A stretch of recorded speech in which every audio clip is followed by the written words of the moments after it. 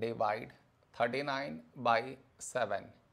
To do this division, we should frame it in this way.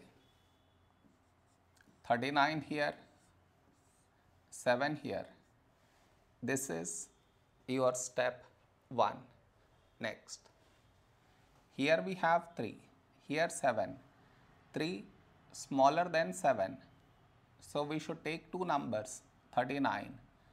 A number close to 39 in 7 table is 7 fives 35.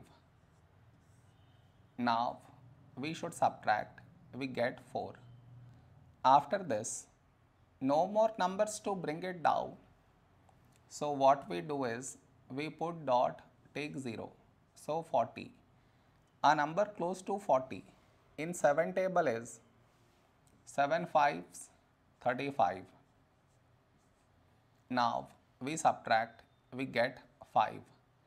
After this, we already have the decimal. So directly take 0. So 50. A number close to 50 in 7 table is 7 sevens 49. Now we subtract, we get 1.